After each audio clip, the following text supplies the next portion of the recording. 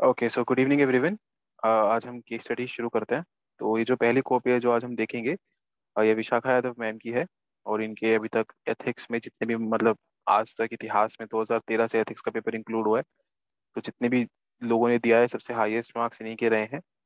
160 something थे इनके if I if I remember correctly तो उसमें बहुत बड़ा कंट्रीब्यूशन रहा होगा केस स्टडीज़ का, क्योंकि ऑब्वियसली 120 मार्क्स की है, इसमें बहुत अच्छा स्कोर करे मेरा इतना स्कोर आ ही नहीं सकता, चाहे थ्योरी में कितने भी अच्छा स्कोर कर ले। तो वही हम देखेंगे एक बार, और केस स्टडीज़ का नेचर बदल गया है हालाँकि, जब इन्होंने पेपर दिया था और आज के पेपर के टाइम पे। तो वो भी आने वाली क्लासेस में देखेंगे कि आज के टाइम पे केस स्टडीज़ कैसी हो गई हैं, खासकर ट्वेंटी ट्वेंटी की जो केस स्टडीज़ थी they were way too different और ट्वेंटी ट्वेंटी वन में तो दो केस स्टडीज़ रिपीटेड आई थी प्रीवियस ईयर से। तो ठीक है, अगर वही वाली बात है कि अगर आप पी वाई की उसकी केस स्टडीज़ करके जाते हैं तो वो हेल्प करता है। अगर हम हिसाब लगाएँ तो 2013 से भी अगर देखें 21 तक टोटल कितनी केस स्टडीज़ होंगी? तेरह, चौदह, पंद्रह, सोलह, सत्रह, अठारह, उन्नीस, बीस, इक्कीस, नौ नौ छक चौवन, है ना? फिफ्टी के आसपास केस स्टडीज़ हैं। तो अगर पचास केस स्टडीज़ ये भी कर ले हम तो दो तीन केस स्टडीज़ तो आई गेस रिपीट ही हो जाती हैं, हर साल। तो इसलिए पी वाई की उसकी इम्पोर्टेंस है। खैर, उससे पहले जो इस सेशन का एजेंडा है कि ठीक है केस स्टडीज़ को एक बार समझ लेते हैं, कैसे अप्रोच करना होता है, क्या कुछ चीज़ें हैं जो इसमें इंपॉर्टेंट है। उसको शुरू करते हैं तो इससे पहले बार क्वेश्चन पढ़ लेते हैं पहला, और फिर हम स्टार्ट करते हैं। तो क्वेश्चन पढ़ केस स्टडीज़ का क्या है कि आप क्वेश्चन पढ़ते टाइम में प्लीज़ ट्राई करें कि जितनी भी ज़्यादा से ज़्यादा चीज़ें आप पढ़ दें और हाईलाइट कर सकें अपने क्वेश्चन पेपर में। That will be very important क्योंकि टाइम की बहुत किल्लत होती है एथिक्स के पेपर में तो शायद दो बार पढ़ने का भी टाइम ना मिले, या फिर मैक्सिमम दो बार पढ़ने का वक्त मिले आपको। तो ठीक है देखते हैं फोकस से there have been wide spread agitations both in favour and against extending reservations in education institutions and government jobs to a certain section of the society. You have been appointed as chairman of a high level committee constituted by the government to examine the matter and make recommendations. So far, the committee has found no compelling reasons to extend reservation to this section.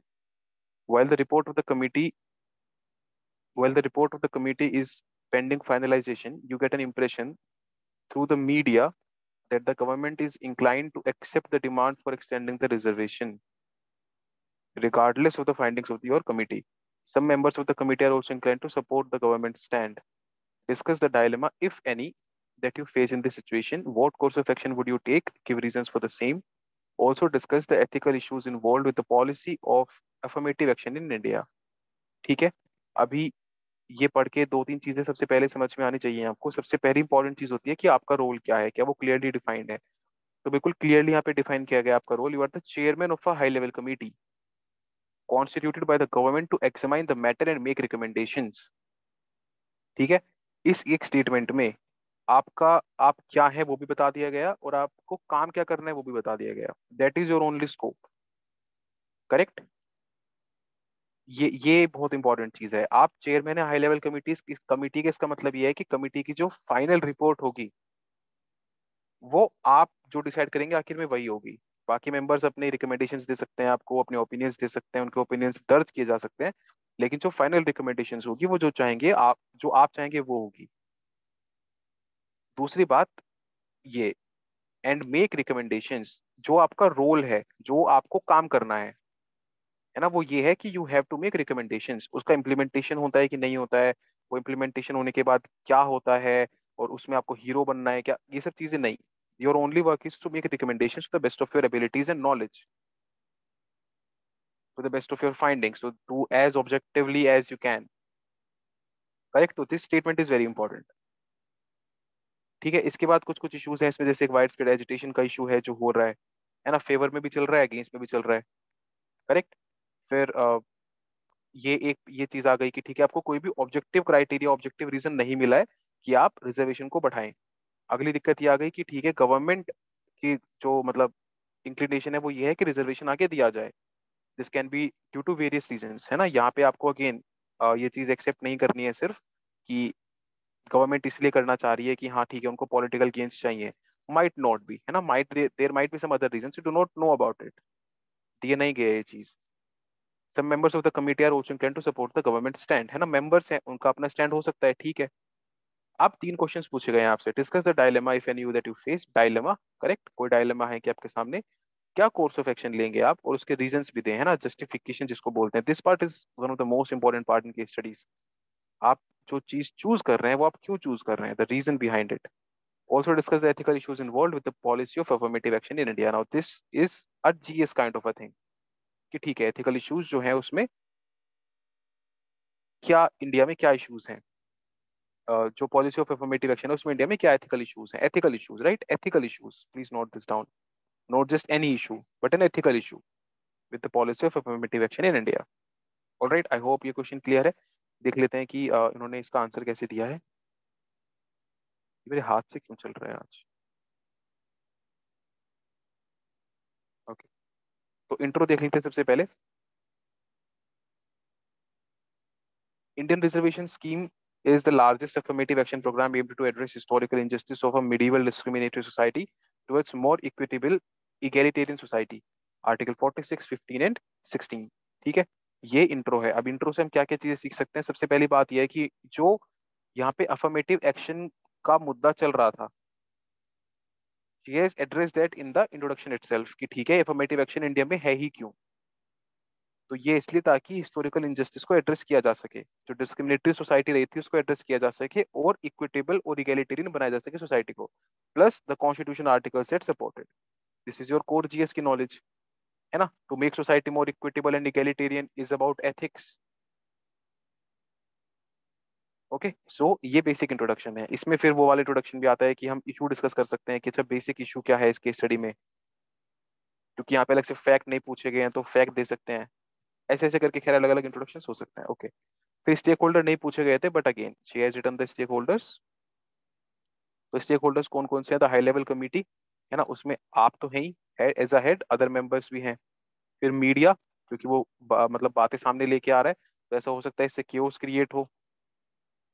Government other sections जिन पे effect पड़ सकता है इस चीज़ का और जिसको reservation मिलना है वो सेक्शन है ना? The specific section of society that is getting the reservation और इसका इम्पैक्ट जो दूसरे सेक्शंस पे हो सकता है। तो this is a very exhaustive stakeholders की लिस्ट है ना? ये देखिए ये कहीं डायरेक्टली मेंशन नहीं था बट डेफिनेट सी बात है कि आप ये चीज़ देखेंगे, जब भी पॉलिसी रिकमेंडेशन देंगे, कि इनको ज़रूरत है कि नहीं है और इनको उसका इस पे क्या इफ़ेक्ट पड़ेगा बाकी सेक्शंस पे? ओके okay, तो अब सबसे पहला जो क्वेश्चन था उसका आंसर देख लेते हैं। The first question was ethical dilemma ठीक है क्या आपके सामने कोई एथिकल डायलेमा है क्या? Since the government is incline to undertake populist measure okay ठीक है इन्होंने ये चीज़ बोली undertake populist measure it creates a dilemma to favour the political view और undertake an honest objective assessment of the case political view ले या फिर एक ऑब्जेक्टिव असेसमेंट दे ये एक एथिकल डायलेमा हो गया। ठीक है करेक्ट है। क्योंकि पॉलिटिक पॉलिटिकल व्यू के साथ जाना क्यों? क्योंकि ठीक है, वही जो हम बात करते हैं कमिटेड ब्यूरोक्रेसी है ना? या फिर the bureaucracy needs to work in tandem with the government of that of that particular time right तो ये पॉलिटिकल व्यू के साथ जाए या फिर एक ऑनेस्ट ऑब्जेक्टिव असेसमेंट दे। Also, the reports and impression created through media, there is a fear of backlash in case of negative proposal from the concerned section. अभी देखिए, ये चीज़ अगेन क्यों इंपॉर्टेंट हो गई है? ये चीज़ इसलिए ये सेकंड एथिकल डायलमा के रूप में है कि ठीक है, आप अगर दे दें प्रोटेस्ट ऑलरेडी चल रहे हैं, है ना? कुछ लोग फेवर में है, कुछ लोग अगेंस्ट में है। आप बोलते हैं अगर कि ठीक है अगेंस्ट में तो जो लोग ये कर रहे थे, जो लोग मतलब इसके फेवर में है, वो एजुटेशन को बढ़ा सकते हैं। तो there is again a fear of backlash and again इसके साथ आप सबसे मतलब आगे भी जोड़ सकते हैं fear of backlash and spread of violence further spread of violence अगर आप ये नेगेटिव चीज़ दे दें नेगेटिव प्रपोजल दे दें फिर एग्ज़ाम्पल है ना, जैसे कुछ लोग मतलब ऐसे आज भी, आज या कल एक मैसेज आया था कि हम थिंकर्स वगैरह डाल सकते हैं क्या? और कुछ फिलोसफीज डाल सकते हैं क्या केस स्टडीज़ में? तो मुझे लगता है कि आप कहीं कहीं कोट कर सकते हैं, है ना? जैसे उन्होंने एग्ज़ाम्पल कोट किया एग्ज़ाम्पल कब आया था कि एग्जाम्पल्स डाल सकते हैं क्या? तो जैसे उन्होंने बताया कि हाँ जैसे ये पता चला कि ठीक है, ऐसे वो नहीं मिलेगा रिजर्वेशन नहीं मिलेगा तो एजिटेशन हुआ था राइट इधर गुड़ गुड़गांव बॉर्डर पे हमें देखने को मिला था, दिल्ली हरियाणा बॉर्डर पे बहुत बड़ा एजिटेशन दिल्ली की पानी सप्लाई रोक दी गई थी। तो all of these things can happen we need to learn from all of these things तो इसलिए उन्होंने कोट किया। This is okay you can definitely do it तीसरी चीज़ there is also an internal divide amongst the members that might create a biased report okay तो ये भी एक अलग चीज़ आ गई। This this is also a dilemma ठीक है तो ये एक जो ए पार्ट ऑफ़ क्वेश्चन था, उसको एड्रेस कर दिया गया है यहाँ पे। फिर इसके बाद अब इसको और थोड़ा बेटर अगर आप करना चाहते हैं तो इसको वैसे भी कर सकते हैं कि ठीक है ए इसमें पहला डायलेमा उसकी हेडिंग बना के और फिर उसके नीचे कुछ लिख दीजिए, दूसरा है ना उसकी हेडिंग बना के उसके नीचे कुछ तीसरा उसकी हेडिंग बना के उसके नीचे कुछ ऐसे करके भी आप इसको एड्रेस कर सकते हैं ओके अब अगला था कि कोर्स ऑफ़ एक्शन क्या होगा तो सिंपल सबसे सिंपल सटीक शब्दों में कोर्स ऑफ़ एक्शन एक्शन बता दिया गया है My course of action is very clearly the one which involves an impartial, honest, and objective analysis free from any political pressure or the media interference merely based on some opinions and news. एकदम clear cut course of action बताया गया है। कोई भी vagueness नहीं है course of action में। This is very important कि आपके पास डिसीज़न मेकिंग दिखनी चाहिए आपकी केस स्टडी में हमेशा कि आप डिसीज़न ले पा रहे हैं। उसमें वेगनेस नहीं दिखनी चाहिए बिल्कुल भी। This is very very very important तो सीधा सीधा बताया गया कि कोर्स ऑफ़ एक्शन क्या होगा। एक impartial honest objective analysis these are ethical values और की टर्म्स जो केस स्टडीज़ में हेल्प करती हैं। है ना this reflects your syllabus foundational value of a civil servant आता है ना उसमें इम्पार्शियलिटी ऑब्जेक्टिविटी ऑनेस्टी तीनों आती हैं ये। तो यही दिखाई गई। Okay free from interference free from political pressure है ना? इसको क्या बोलते हैं? न्यूट्रलिटी वगैरह कुछ कुछ नॉनिमिटी न्यूट्रलिटी वो सब। ठीक है? तो ये हो गया आपका। आई वुड अंडरटेक अब ये कैसे है ना, ये कोर्स ऑफ़ एक्शन हो गया but how do you implement this course of action है ना? ये कैसे, इसको आगे फर्दर कैसे आप एड्रेस करोगे? और जो ऊपर एथिकल डायलामा है, उनको भी सॉल्व करना है, जो इश्यूज़ आएँगे, उनको भी सॉल्व करना है तो कैसे करोगे ये सब? पहला I would undertake a robust baseline survey to study the conditions and find the eligibility parameters are fulfilled और नॉट एक रोबस्ट बेसलाइन सर्वे किया जाएगा socio socio educational economic conditions पढ़ने के लिए, जो भी कॉन्स्टिट्यूशन में, ये देखिए ये देखिए अगेन ये ऑब्जेक्टिव क्राइटेरिया मेरा कहाँ से आ रहा है ये भी बताया। कॉन्स्टिट्यूशन ने प्रिस्क्राइब किया अंडर आर्टिकल 15, 16, 17 वगैरह 17 नहीं सॉरी 15, 16 वगैरह जो भी। Okay okay? तो सोशल एजुकेशनल इकोनॉमिक कंडीशंस जो कि कॉन्स्टिट्यूशन ने प्रिस्क्राइब की है रिजर्वेशन के लिए मैं उनके बेसिस पे एक सर्वे कराऊँगी कराऊँगा। And find the eligibility parameters that are fulfilled और नॉट I?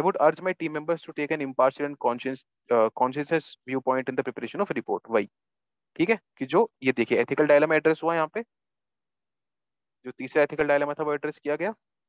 फिर the findings would be properly documented and based on the empirical analysis I would suggest the solution to the government okay बिल्कुल empirical analysis के basis पे without any biasness और partiality जो solution है, वो suggest कर दिया जाएगा। Since committee doesn't find substantive proof I would write and disfavour the given proposals बता दिया। नहीं मिले तो हम ठीक है, ऐसे बोल देंगे कि हमें नहीं मिले, हम डिसफेवर कर देंगे। If asked by media persons, I would adhere to my rule book and conduct rules to maintain integrity of the process unless ये देखिए क्या बेहतरीन वो है। अगेन जो मीडिया में चीज़ लीक हो रही थी how do you address is the ethical dilemma जो गवर्नमेंट वाला एथिकल डायलेमा था वो भी एड्रेस हो गया।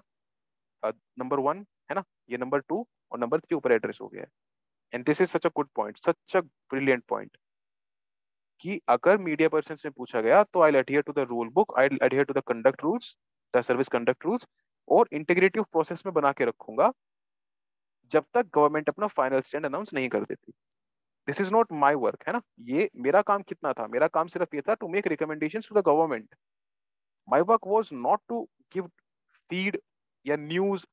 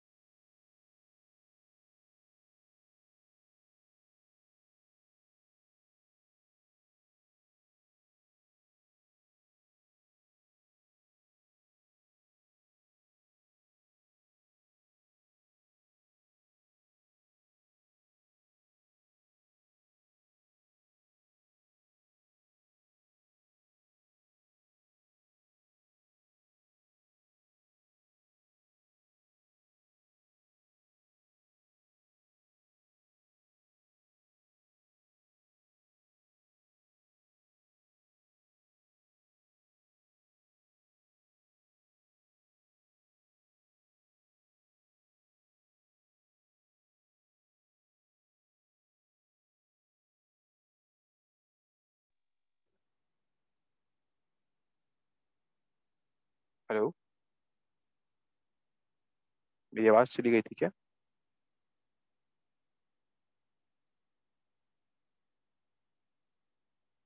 आ, बीच में बीच में वो भी आया था क्या कि रिकॉर्डिंग रुक गई है?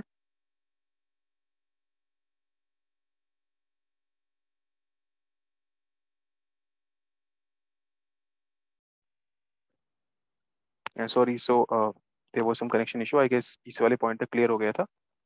कि ठीक है, मैं वही बता रहा था कि हाँ जो आई एस कंडक्ट रूल्स हैं और जो रूल बुक है, उसके हिसाब से जो प्रोसेस की इंटीग्रिटी है, वो मेंटेन रहेगी और मेरा काम सिर्फ़ इतना है कि मैं गवर्नमेंट को रिकमेंडेशन दूँ, ना कि मीडिया को फ़ीड दूँ। तो एग्ज़ाम हॉल में ऐसा पॉइंट आना और लिखना विल डेफिनेटली फेच मार्क्स ये बहुत अच्छा और बहुत ही अच्छा बहुत मतलब one of the best points है और आपने देखा कि किस तरीके से तीनों एथिकल डायलामास को भी एड्रेस किया गया है। करेक्ट आगे बढ़ते हैं। फिर लास्ट है, जो सिंपल क्वेश्चन पूछा गया था ethical issues in the reservation regime of India तो इसमें देखिए इन्होंने दोनों क्वेश्चन एड्रेस किए। पहले अपना स्टैंड भी बताया और सेकंड पूछा गया था कि रीजंस क्या है।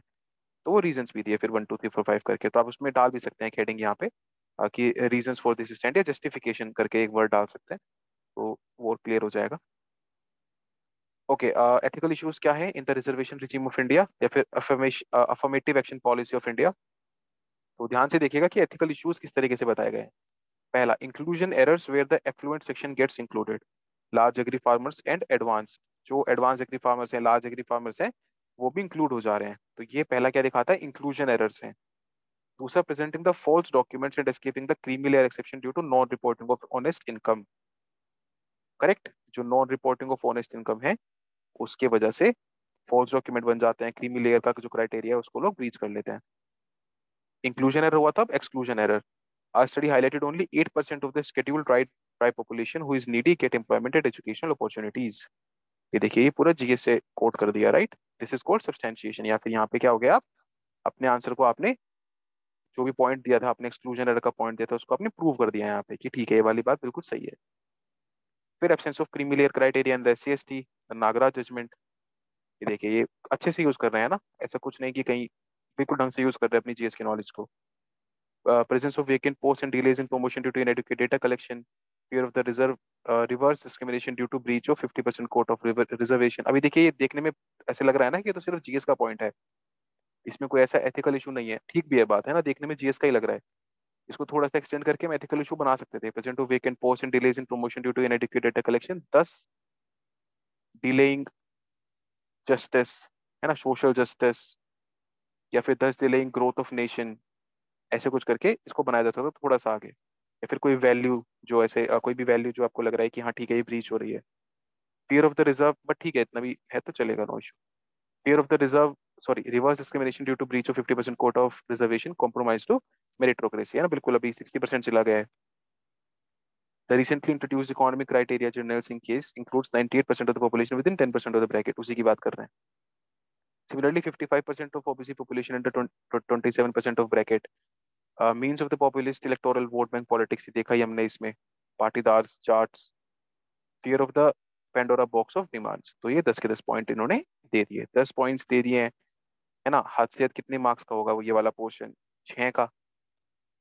करेक्ट दस पॉइंट आ गए हैं तो मिल ही जाएँगे नंबर राइट यहाँ पे कोई एक सिंगल वो नहीं था और ये आ गया था तो इसलिए शायद आखिर में नहीं तो कंक्लूजन भी दिया जा सकता था यहाँ पे।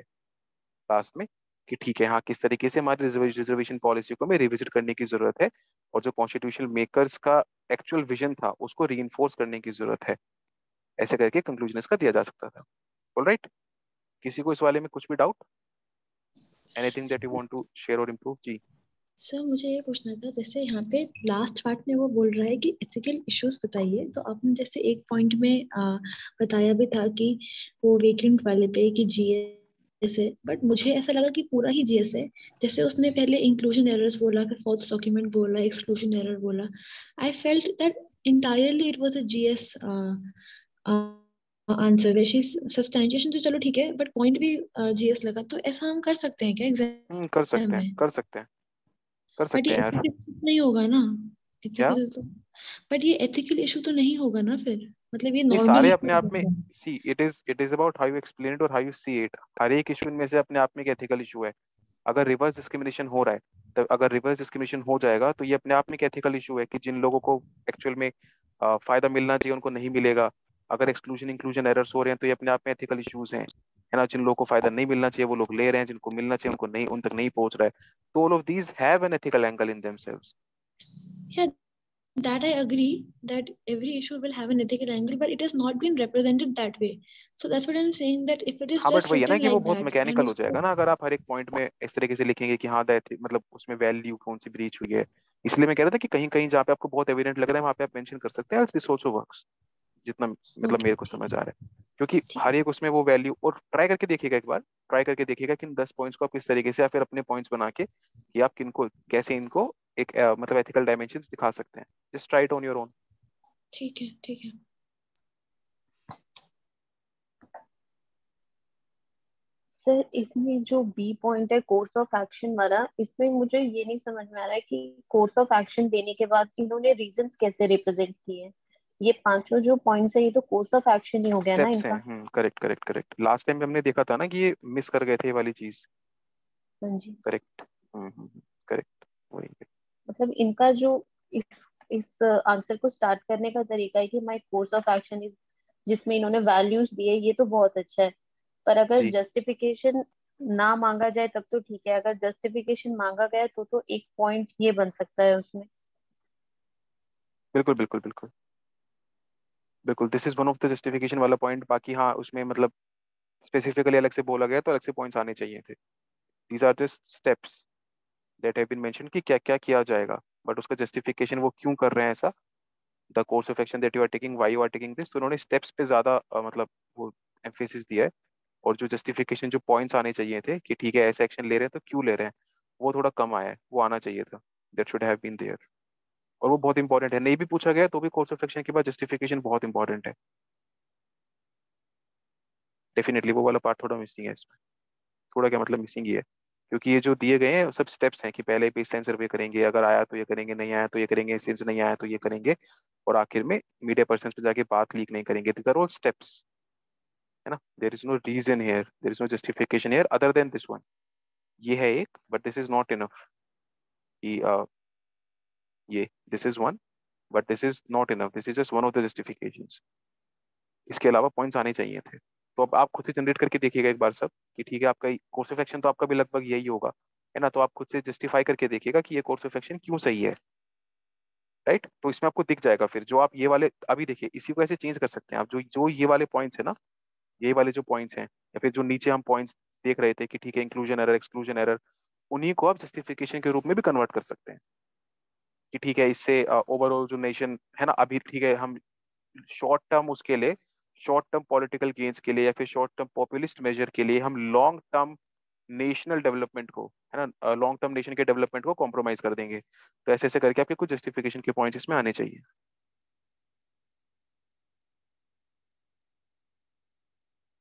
ठीक है ओके फिर कौन सी वैल्यूज़ आप अपहोल्ड कर रहे हैं, है ना, एक वो आ जाता है जस्टिफिकेशन के पॉइंट में और एथिकल डायलमाज इससे सोल्व हो रहे हैं कौन कौन से सोल्व हो रहे हैं किस हद तक सोल्व हो रहे हैं वो आ जाता है। तो all of these need to need मतलब should should have been here okay ठीक है आगे बढ़ते हैं। You are an honest and responsible civil servant you often observe the following if one wants to remain effective and powerful to create impact on the lives of people one should remain loyal to those in power. Okay. ठीक है तो uh, सबसे पहले आपकी दो qualities बताई गई हैं आप ऑनेस्ट हैं रिस्पॉन्सिबल हैं और पोस्ट आपकी सिविल सर्वेंट की। आपने कुछ कुछ चीज़ें ऑब्ज़र्व करी है। पहली चीज़ ये है कि अगर आपको इफ़ेक्टिव और पावरफुल भी रहना है, अगर आपको इम्पैक्ट लाना है लोगों की ज़िंदगी में तो भी आपको लॉयल रहना पड़ेगा उनको जो पावर में है। ना? जैसे वही वाली बात कहते हैं, उसमें एक है ना वो महेंद्र सिंह धोनी वाली मूवी में डायलॉग की वो जब पूछते हैं वो सत्येंद्र भैया से कि, ठीक है, महेंद्र सिंह धोनी कैसा खेलता है? वो कहते हैं, पता नहीं सर, रेलवे के लिए खेलेगा क्या? पता नहीं सर। कहते हैं बोंडा बोंडा रेलवे स्टेशन पता है? तो तुरंत मान जाते हैं कि हाँ ठीक है, मैं बात करूँगा इनसे। तो this is because are in power they can change your position and an create an impact on the impact that you are going to create. Following ethical means may not be practical and effective at all times. ये दूसरी चीज़ आपने observe करी है। तीसरा petty corruption expect था service delivery है ना? ये देखिए। और ये हकीकत भी है है ना? अगर आप देखेंगे तो हकीकत है भी ये जो चीज़ें चल रही हैं उसके हिसाब से। ये चीज़ें आपने ऑब्ज़र्व करी हैं। Examine the about statements with merits and demerits अब आपको ये जो स्टेटमेंट है ये तीनों स्टेटमेंट कहीं ना कहीं आपको एथिकली कॉम्प्रोमाइजिंग लग रही होंगी। तीनों स्टेटमेंट्स अब ये इन तीनों स्टेटमेंट्स आपको मेरिट्स और डिमेरिट्स दोनों बताने ठीक है? ओके क्लियर है चीज़? तीनों स्टेटमेंट्स आपको एथिकली कॉम्प्रोमाइजिंग दिख रही है। इनके मेरिट्स और डिमेरिट्स आपको बताने सिंपल क्वेश्चन है। The argument tries to portray introduction. The argument tries to portray the fact that loyalty is supreme virtue to attain efficiency, power, and an impactful work in public. Okay? तो introduction में इन्होंने जो case है है ना? जो case है, उसको एड्रेस किया है। केस स्टडी का जो एक्चुअल केस है the crux of the case उसको एड्रेस किया है कि हाँ यहाँ पे बताना चाह रहा है कि अगर आपको एफिशिएंसी आपको पार आपको इम्पैक्टफुल वर्क करना है, अगर ये तीनों चीज़ें करनी है तो लॉयल्टी की जो वैल्यू है, वो सुप्रीम है। You have to be loyal to those in those are in power the fact that loyalty to those are in power is a supreme virtue ये चीज़ इंट्रोडक्शन में आ गई। अब ठीक है एक एक करके देख लेते हैं। ओके पहले वाले के चल रहे हैं। ओके ठीक है हाँ। तो मेरिट क्या है इसका? कि आप लॉयल रहें पहला है emphasis on on the value of loyalty a feature of permanent executive uh, towards a temporary executive कि ठीक है ये मेरिट uh, इसका ये बता रही है। पहला पहला मेरिट ये बताया गया है कि हाँ ठीक है जो लॉयल्टी है of the permanent executive to towards the temporary executive उसकी वैल्यू को अपहोल्ड करता है उसकी वैल्यू को एम्फेसाइज करता है। This is the first merit demerit क्या है? ब्लाइंड पहले मेरिट ही देख लेते हैं। डिफरेंसेस थोड़े जो साथ साथ देखें। This will ensure smooth coordination and implementation of the policies without the internal factions बिल्कुल सही बात है। है ना? ऊपर से नीचे तक पॉलिसी मेकिंग से लेके पॉलिसी इंप्लीमेंटेशन तक जो वे ऑफ़ थिंकिंग है और वे ऑफ़ इंप्लीमेंटिंग है वो सेम रहेगा। कोई आपस में भेदभाव नहीं होगा। इट विल इंश्योर भेदभाव क्या क्या बोलेंगे? राइट वर्ड डिफरेंसेस नहीं होंगे। It will ensure a smooth career transition without the political pressure and divergence of interest बिल्कुल, सिर्फ़ देश के लिए थोड़ी अच्छा है, वो मेरे लिए भी अच्छा है। कि मेरे जो कैरियर है वो स्मूथली चलता रहेगा बोंडा बोंडा नहीं जाना पड़ेगा without the political pressure and divergence of the interest okay अब इसके डिमेरिट्स क्या हैं? Blind adherence to loyalty is dangerous correct अगर आप ब्लाइंड एडियरेंस कर, करते हैं सिर्फ़ मतलब you are loyal without questioning you are loyal without taking into consideration other factors constitution क्या कह रहा है बाकी लॉ क्या कह रहा है आपका कॉन्शियंस क्या कह रहा है? इन सब चीज़ों को देखे बिना अगर आप सिर्फ़ लॉयल हो रहे हैं तो ये डेंजरस है। This is a demerit civil servant is suppose to give neutral advice such as negating farm loan waiver although it seems a creative option उसे जो ऊपर वाली केस स्टडी थी, लगभग वही वाली बात है कि ठीक है even if the government wants to you to do in a particular way you should not do it you should be neutral in your approach and morally and means can never be justified in the name of loyalty बिल्कुल। This is the crux है ना? ये crux है। This is the ultimate reason और the ultimate demerit कि आप unethical actions को किसी भी तरीके से जस्टिफाई नहीं कर सकते। चाहे आप लॉयल्टी एफिशिएंसी पार इम्पैक्ट किसी भी नाम पे you can not justify unethical means है ना? Means are always greater than the ends ये चीज़ यहाँ पे अपहोल्ड की गई है। और मतलब डिमेरिट में ये चीज़ खराब हो जाएगी the ends will be given more important है ना एंड ये ना कि इम्पैक्ट क्रिएट कर रहे हैं but if that impact is not coming through the right means it will not serve a good purpose in the long run. Example, hiding the data of public interest, custodial violence, criminal death, etc., etc., etc. Okay. अभी देखिए ये इसके आगे ना impact on the lifes of people can be created while being politically neutral example Ashok Khemka और mister Sagayam okay तो impact आप तब भी क्रिएट कर सकते हैं अगर आप पॉलिटिकली न्यूट्रल रहते हैं तो। हालाँकि ठीक है थोड़ा सा क्वेश्चन मार्क है इसमें बट ठीक है। For the sake of writing you definitely read to write this कि हाँ by being politically neutral by taking your moral ground by doing your duty to the best of your abilities and objectively even then you can create the impact on the life of a lot of people ठीक है? Second second क्या था? Following ethical means may not be practical and effective at all times. Okay practical and effective at all times. ठीक है? तो merit uh, क्या है इस चीज़ का? कि अगर आप अनएथिकल uh, मतलब एथिकल मींस ना फॉलो करें तो उसका मेरिट क्या है? Teleological approach of utilitarians found consonance with the justification of the ends over means correct जो हम अभी बात कर ही रहे थे एंड्स ओवर मींस जस्टिफाई हो जाएगा यहाँ पे teleological approach the telos will be end example killing of mafias or criminals to control the urgent public disorder issue without the due procedure of arrest and investigation. Please note this down, Anna. Please note this down that she is using the examples liberally here. Okay, this, this. जो लोग आज मेरे से पूछ भी रहे थे कि आप एग्जाम्पल्स यूज़ कर सकते हैं क्या तो आप बिल्कुल देखिए देख सकते हैं आपके सामने ही है है ना तो without the due procedure of arrest and investigation जो टाइम कंज्यूमिंग प्रोसेस है इसको स्किप करके आप इंस्टेंट इंस्टेंट जस्टिस डिलीवरी कर रहे हैं है ना गाड़ी पलट जा रही है और क्या मेरिट है ओके एक ही लिखा है ठीक है और डिमेरिट क्या है इस Gandhi ji said a wrong means adopted for a right result is never truly correct the deontological approach है ना you should focus on your actions you should focus on your means rather than just focusing about the end. In similar example, although the public security is safeguarded in practical manner, the violation of human rights of the criminals and right to life is never justified. Okay? और फिर वही वाली बात है ना कि आप अगर गलत मीन्स ले रहे हैं, है ना? तो एक ना एक दिन आपको दिखेगा कि वो आपको बैक बैकलैश आ जाएगा उसका, उसको बैकफायर कर जाएगा। सपोज़ करिए कि इस दिन क्रिमिनल की जगह कोई इनोसेंट इंसान हाथ चढ़ गया। तो अगर ये जस्टिस सिस्टम से जाता तो प्रूव हो जाता कि इनोसेंट है। इंस्टेंट वाले में तो गया ना। तो you will have to always focus on the right means rather than just focusing on the end ठीक है? मेरिट डिमेरिट समझ में आ गए इस केस के? फिर again a conclusion thus the perfect harmony of mean and end would result in to a perfect act for practicable purposes the ethical morality can't be made flexible to achieve an objective however the dire need seems see यही है ethics के paper की demand this is the demand of the ethics paper इतना ही है कि आपको हर थोड़े थोड़ी देर में ये दिखाना है एग्जामिनर को कि आप मॉरली कहीं भी कॉम्प्रोमाइजिंग नहीं हो रहे हैं। आप एथिकली जरा सा भी कॉम्प्रोमाइजिंग नहीं हो रहे हैं। इंटरेस्ट मी जिस स्पीड से केस स्टडीज़ पढ़नी और लिखनी पड़ती हैं। Doing this sometimes is not easy आपके हाथ से फिसल जाती है चीज़ें। और नहीं मतलब फिसल भी नहीं रही है। चलो ठीक है, आप कुछ अनएथिकल या इलीगल नहीं लिख रहे हैं, लेकिन आप ये चीज़ें अगर नहीं लिख पा रहे हैं देन जो एक एक स्टार है ना, एक जो वो अलग से एज दिखता है आपकी कॉपीज में, वो नहीं दिख पाएगा।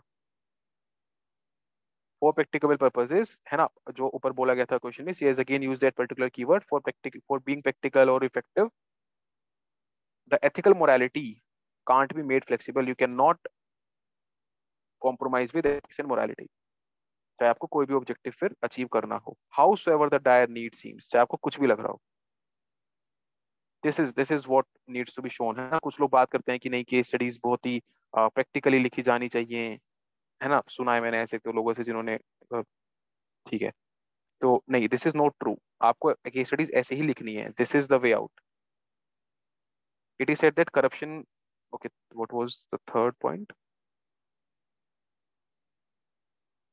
Petty corruption expedites service delivery, okay. It is said that corruption greases the wheels of administration. Second ARC ये देखिए, है ना? कोट किया इन्होंने। एक ही लाइन में कैप्चर कर लिया कि हाँ इवन सेकेंड आरसी ने बात कही थी कि ठीक है, जो करप्शन है वो एडमिनिस्ट्रेशन के व्हील्स को, वो ग्रीस प्रोवाइड करता है, जो उसको फास्ट चलाता है। लेकिन इसके मेरिट्स और डिमेरिट्स क्या हैं? Although a weed such as corruption can never be positive. Aye, Shandar. Yet it seems that petty bribes can expedite the service delivery through levels of red tapeism. Example, a pension certificate of old aggrieved person uh, to steadfast the process of a driving license by bribes, bribe, bribe culture at RTO in common ways of life. वो क्या बोलते हैं उसको sensitisation of corruption Rishabh भाई बोलते हैं ना कई बार ये चीज़ तो वही ये एक मेरिट हो गया इसका है ना a very nice line to begin with demerit क्या है supreme court has said that the corruption is rotting the life and breath of this nation the scams of commonwealth 2g coal scam bofors adversely impact the economy and public welfare it leads to erosion of public faith in democratic institutions and imbibes a culture of चलता है वही जो हम sensitisation की बात कर रहे थे ओके नाउ अ बिग सा कंक्लूजन पेज भरना है क्योंकि corruption in any form at any level needs to be tackled to truly make our nation great. Japanese culture is an, ये देखिए केस स्टडी है ना? क्या बोलते हैं इसको? बेस्ट प्रैक्टिस तो अगर आप एनालिसिस करेंगे एक ही केस स्टडी में तो वैल्यूज़ दिख जाएँगी आपको। आपको बेस्ट प्रैक्टिसेस दिख गए, आपको एग्जांपल्स दिख गए, आपको वो क्या नाम है, लोगों के नाम दिख गए। तो each and everything can be used theories दिख गए ना deontological approach teleological approach Japanese culture is an eye-opener Asian example. Government of India is bringing various laws to deal with political, economic, and institutional measures. Okay? इस तरीके से करके आपने बता दिया कि नहीं करप्शन तो ठीक नहीं है corruption in any form any form है ना पेटी फॉर्म भी एट एनी लेवल कितने भी पेटी लेवल हो जाए needs to be tackle to truly make our nation great this is the stand that she is taking even after giving the merits and demerits you need to take a stand in the conclusion in the next line. जी समझ में आ रही है? सिर्फ़ merits demerits पूछे गए थे लेकिन उसके बाद आपको बताना है कि despite these merits and these demerits ठीक है हमने शॉर्ट एनालिसिस कर लिया लेकिन उसके बाद मेरा कंक्लूजन ये है। This is where I stand okay किसी का कुछ इसमें डाउट कुछ आ, किसी कुछ बताना है इसके बारे में?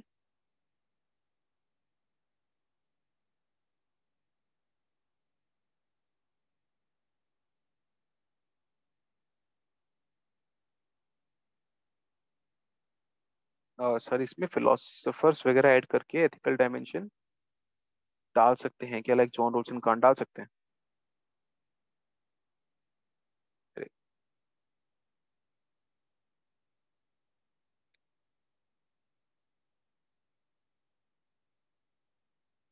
Okay. Recently, two national level sports person who are integral members of their team made some comments in a talk show which were perceived as being grossly misogynic and racist. कौन नाम बताएगा इनका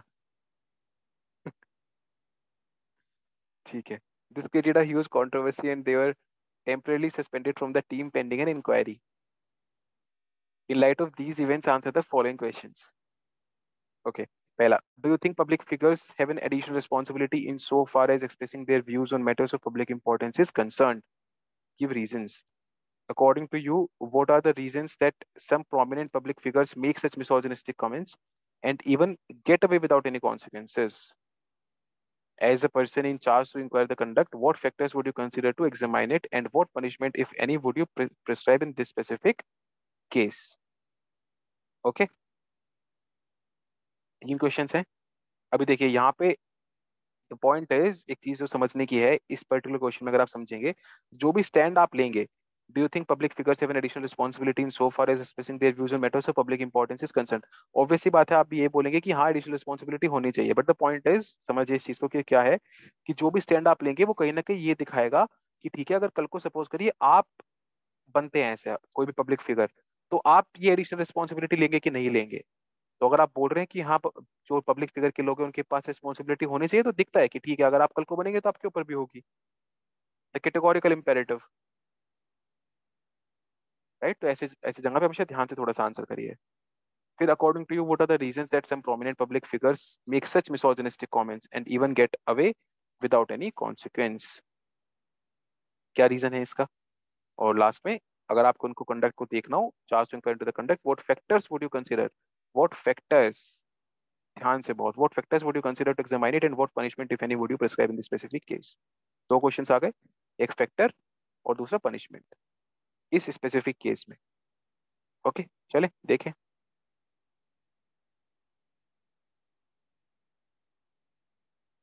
Okay intro freedom of expression under article 19 give a free leeway to defame or pass any grossly unappropriate statements restrictions in the name of public order decency and morality are placed ठीक है?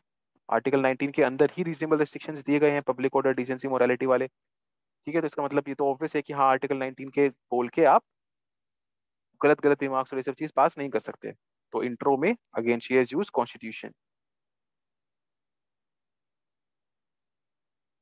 फिर stakeholders हुआ the stakeholders involve the talk show की team larger public inquiry head यानी कि मैं sports person public figure जो दो हैं वो, और media these are the stakeholders involve larger public है ना प्लस जो सेक्शन जिसके खिलाफ गलत चीज़ बोली गई है, वो भी स्टेक होल्डर हो सकता है यहाँ पे।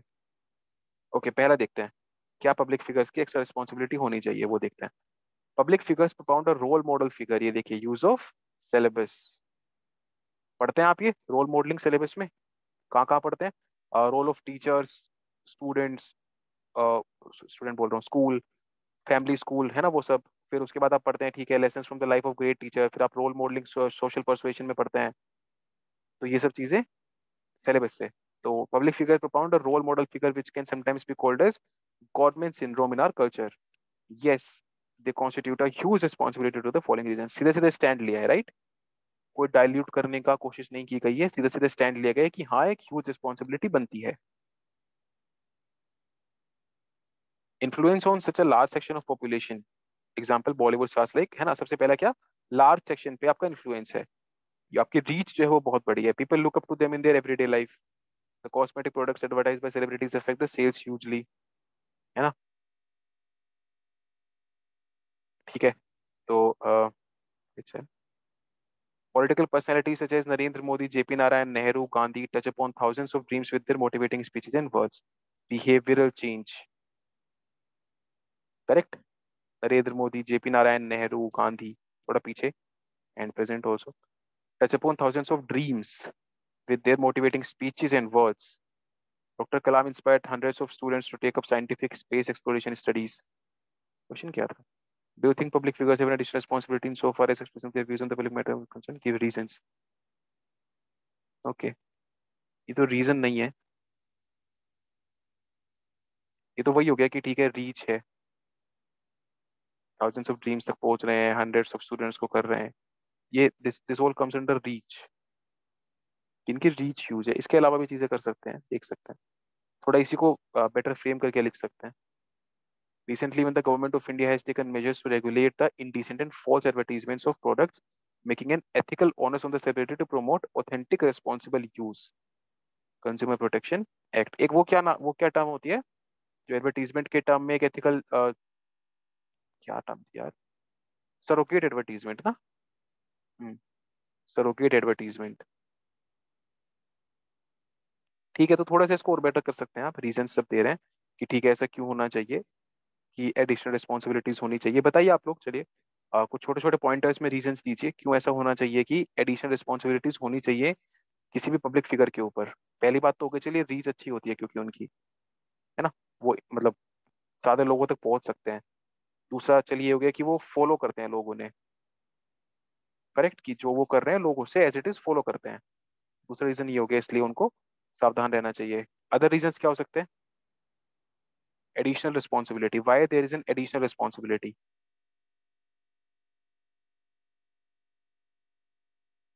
ठीक है उनके व्यूज़ नेगेटिवली इम्पेक्ट कर सकते हैं उनके फॉलोअर्स को। ठीक है कि अगर वो किसी आ, किसी जैसे मिसोजनिस्टिक कमेंट दिया कोई है ना? तो बहुत सारे जो फॉलोअर्स हैं उनके वो ये पर्टिकुलर व्यू बना सकते हैं towards women in general right तो इसको ऐसे लिख सकते हैं कि हाँ दे शेप जो ऊपर दिया था इन्होंने यहाँ पे दे शेप बिहेवियर है ना? इसको इस वही में कह रहा था ना, इसको पॉइंट को थोड़ा ठीक बनाया जा सकता है rather than giving as an example इसको एक पॉइंट की तरह दे सकते हैं कि they shape behaviour of a lot of people okay फिर एक वो आता है with great power comes great responsibility तो ये रिस्पॉन्सिबल हैं कि वो उस चीज़ को सही रखें। ओके इमोशनल कनेक्शन केओस तो आपको स्पेसिफिक आर्ग्यूमेंट्स के रूप में देना चाहिए यहाँ पे ये रीजन होंगे। ओके फिर several public figures are said to have commented misogynistic क्या क्वेश्चन था दूसरा?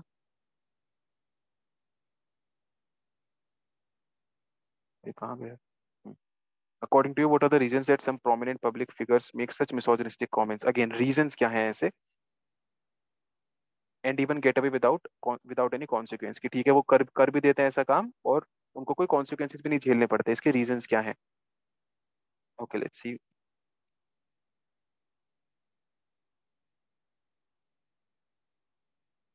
Several public figures are said to have committed misogynistic or otherwise, but are carried out of the chaos without responsibility because of multifold reasons. Okay, पहला influence of power, prestige and money सही बात है lack of clear legal and stringent framework against vocal speeches सही बात है access to high class corporate lawyers with expertise to drag them out in case of legal dispute correct overall the declining moral moral strength and degrading ethos of Indian culture okay ये थोड़ा extreme है but ठीक है sometimes you need to be extreme however we can't neglect the figures such as okay good good enough ठीक है उसका positive भी दिखा दिया कि ऐसा नहीं है कि सिर्फ़ गलत ही चल रहे हैं However, we can't neglect the figures such as Sachin, Amitabh, Dravid, Ganguly, who devoted their lifetime balancing good work and social prestige, who are an inspiration even for generations to come. सही बात है ठीक है fair enough Bollywood और cricket दो ही जगह public figures दिखते हैं okay what are the reasons that some prominent public figures make such misogynistic comments and even get away with without any consequences तो इसके legal और अलग अलग चीज़ें हमने देख ली ठीक है can think of any better point क्या क्या रीजन है why do they make such a comment and how do they get away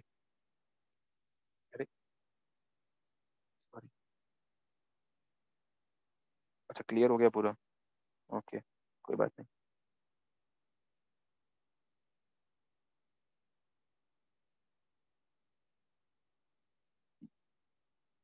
दे सकते हैं हम कोई point why do they make such comments देखिए, एक तो सिंपल सी बात ये है ना कि कोई भी इंसान है, वो क्या रिफ्लेक्ट करता है? वो सोसाइटी को रिफ्लेक्ट करता है। तो अगर कोई इंसान पब्लिक फिगर है, कोई भी पब्लिक फिगर है, वो सोसाइटी का रिप्रेजेंटेटिव ही तो है। सोसाइटी में से उठ के आया है। तो अगर ये कोई गलत कमेंट दे रहे हैं तो इसका मतलब ये है कि हाँ सोसाइटी में वो चीज़ पनप रही है। Right right? तो एक तो यही चीज़ हो गई कि वो सोसाइटी से उठा के लाए उन सब चीज़ों को। इसलिए वो सोसाइटी में एक्सेप्टेबल भी है। अगर कोई ऐसी चीज़ आप कर दो जो सोसाइटी में नहीं चल रही है तो वो सोसाइटी में एक्सेप्टेबल होती ही नहीं है। है ना? आज भी अगर कोई गे इंसान सामने आके अपनी आ, क्या बोलते हैं ओरिएंटेशन रिवील करता है तो वो सोसाइटी कहाँ उसको एक्सेप्ट करती है? क्योंकि सोसाइटी में अभी वो चीज़ एक्सेप्टेबल है ही नहीं चल ही नहीं रही है प्रिवेलेंट ही नहीं है। अच्छा आपने बोल दिया था क्या ऊपर? सॉरी गया नहीं मेरा ध्यान। Generally, people reject with legal means only when their religious feelings are hurt in India and rest of the matters people generally do not react or ignore it. Okay, ठीक है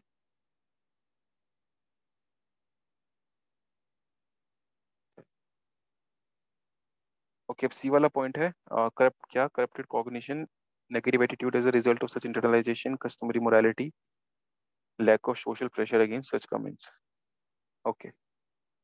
ठीक है as an in charge I would consider the following factors तो factors क्या है? Nature and reach of the show impact it has on population today's context social media is wider in this context a mere slip of tongue और genuine intention to cause harm the action taken by the person in the talk show authorities thereafter ये सब factors देखे जाएँगे।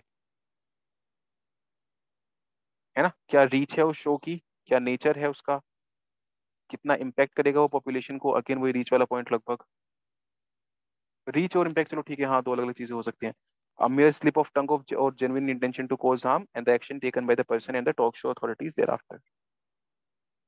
My action would obviously be under the relevant and available legal framework. Obviously be under.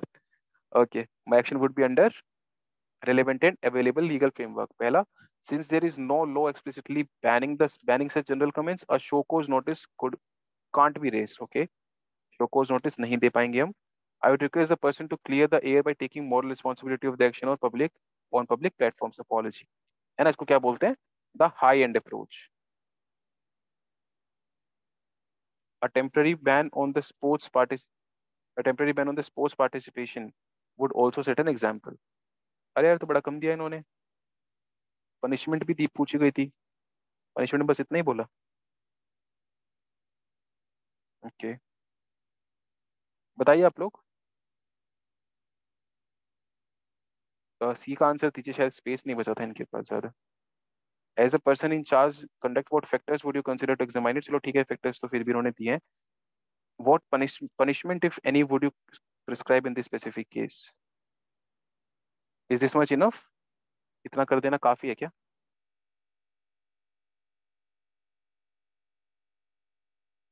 मतलब punishment के रूप में बस इतना आया है कि एक अपोलॉजी टेंडर करो आप पब्लिक अपोलॉजी दो और दूसरा ये कि sports person in general show पे आने बंद कर देंगे। है ना? घेव के साथ घुन पिस रहे तो। बताइए, आप बताइए।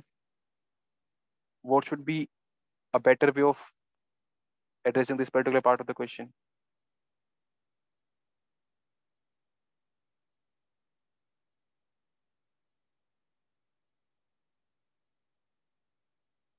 इसकी जगह अगर इसकी जगह अच्छा temporary ban on sports participation अच्छा अच्छा इसका मतलब ओके ओके ओके इसका मतलब ये है कि वो जो स्पोर्ट्स खेलते हैं उसमें उनको पार्टिसिपेट करने से रोक लेंगे जो कि अभी गया था ना पांड्या के और उसके केस में।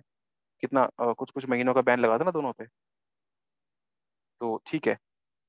ठीक है ठीक है ठीक है। This is this is right ये ठीक है ये प्रॉपर पिनल प्रोविज़न हो गया फिर।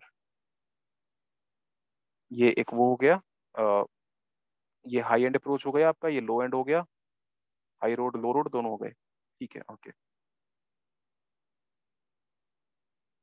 पीआर टीम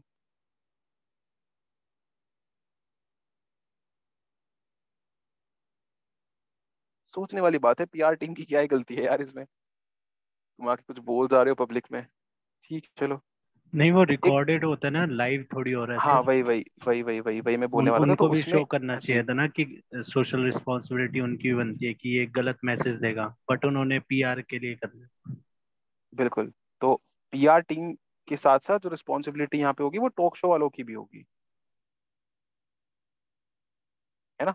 जो टॉक शो आखिर में तो उसी के पास है ना ब्रॉडकास्टिंग राइट्स तो उन लोगों ने पॉपुलैरिटी के चक्कर में उसको वो कर दिया। तो जो टॉक शो वाले हैं, जो होस्ट है, उसकी रिस्पॉन्सिबिलिटी होनी चाहिए थी। Show cause notice to issue formal apology ठीक है, वो तो वो बोल भी रहे हैं कि फॉर्मल अपॉलॉजी पब्लिक अपॉलॉजी दिलवा देंगे। शो पे भी थोड़े दिन के लिए बैन लगा। Okay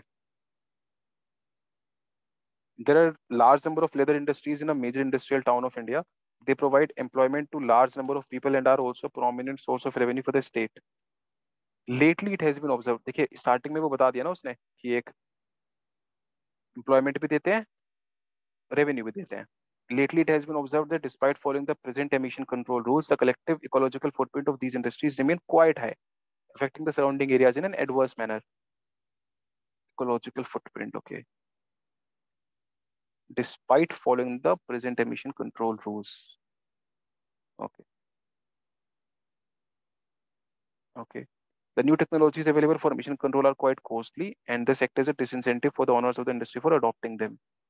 In light of this information, the government is contemplating the following options, shutting down the industries, relocating, making emission control rules stricter, providing incentive to the industry for adopting new technology, analyze the options in terms of their merits and demerits What course of action would you choose and why? Okay, all right. ठीक है चार चीजें already uh, आपको चार options दिए गए इसमें तो you do not have to think about the options you have to think about their merits and demerits and what course of action would you take For a fast growing developing country as India, sustainable development versus economic growth is to be carried by the principle of SDG 9. ठीक है SDG को भी use कर दिया।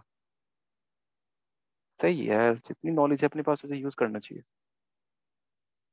Okay stake holders में मैं head फिर employees फिर गवर्नमेंट फिर स्टेट गवर्नमेंट्स को रेवेन्यूज मिल रहे हैं और सराउंडिंग एरियाज़ पब्लिक भी ना, जिसकी हेल्थ खराब हो रही है। उस उस रीजन के लोग खासकर।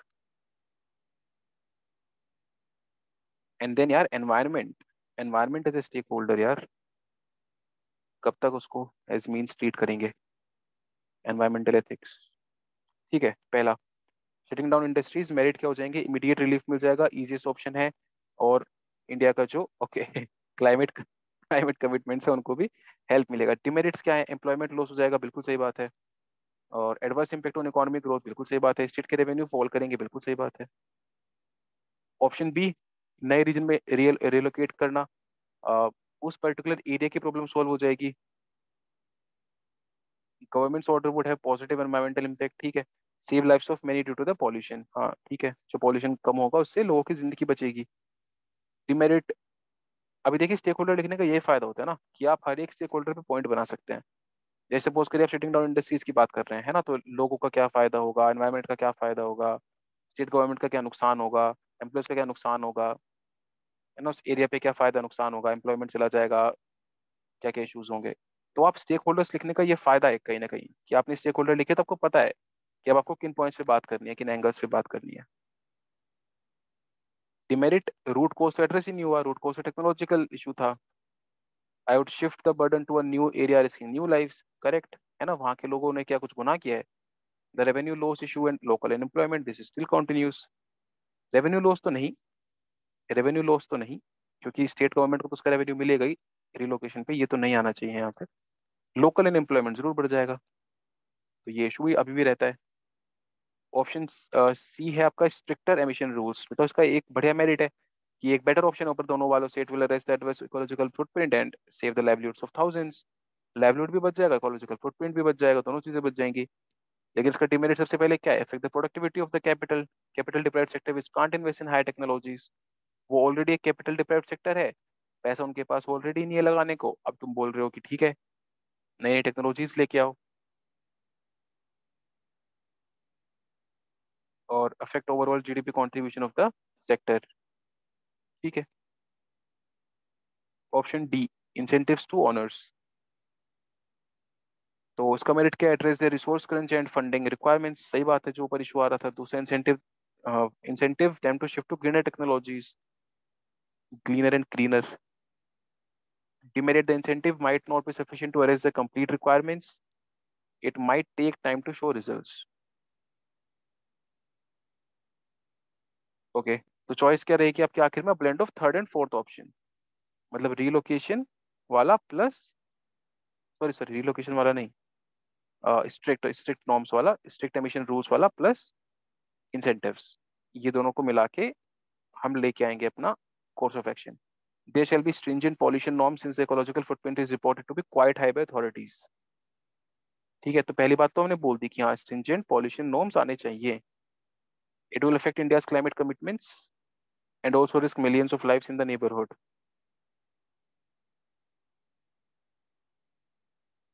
Okay.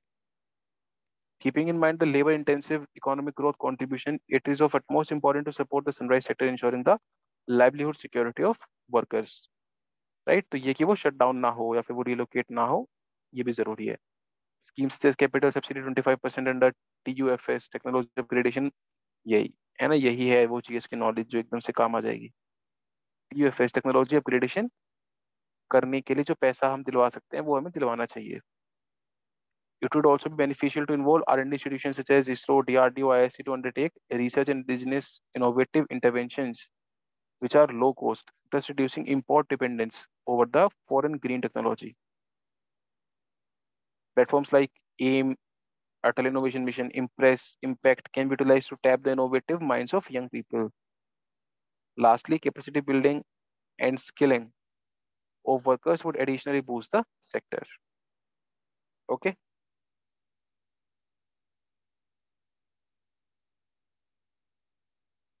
ठीक है किसी को इसमें कुछ डाउट सर इसमें कोर्स ऑफ़ एक्शन कौन सा दिया है इन्होंने? What course of action would you choose and why?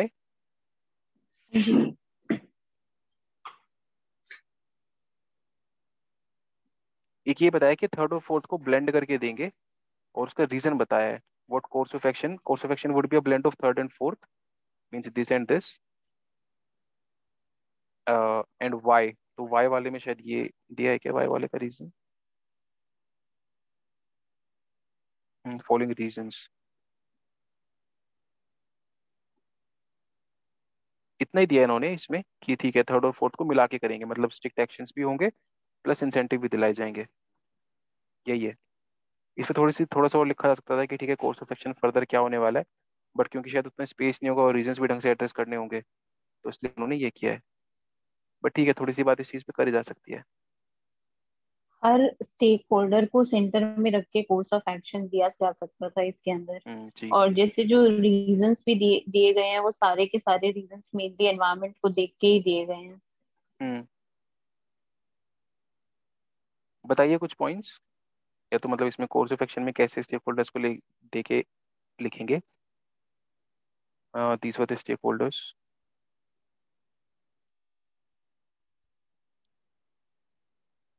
जैसे कि इसमें लाइवलीहुड लॉसेस वगैरह दिया हुआ है तो किसी के लिए स्किलिंग वगैरह दिया जा सकता है।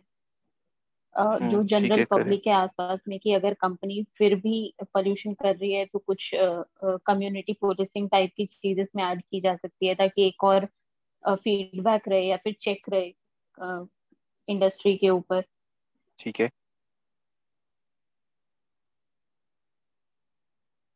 सिविल सोसाइटी को इंक्लूड किया जा सकता है। हम्म सही है।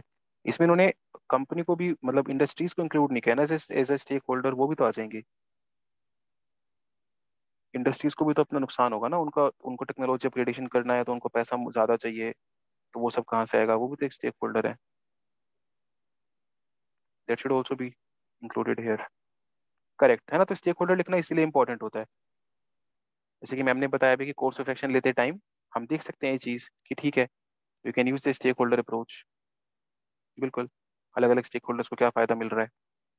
मेरिट डिमेरिट डिस्कस करते time also we can do that okay and then reasons आप थोड़े से दे सकते हैं।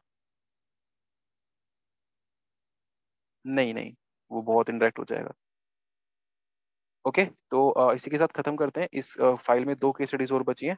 अपनी तरफ़ से पढ़िए और एनालाइज करिए कि उन्होंने क्या क्या चीज़ें यूज़ की हैं। जो चीज़ें आपको दिख रही हैं इसमें कि okay these things have fetched marks आप उनको इनकलकेट कर सकते हैं अपने आंसर्स में।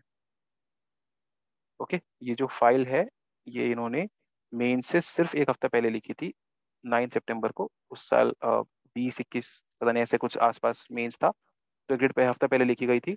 एंड ऑब्वियसली बात है कि she would not have been able to change a lot of things in their answers तो ठीक है वी नीड टू इम्बाइब जो भी उन्होंने चीज़ें लिखी हैं, एक बार देखिएगा अपनी तरफ़ से बाकी जो दो केस स्टडीज़ बची हैं। अरे, ये क्या हो गया?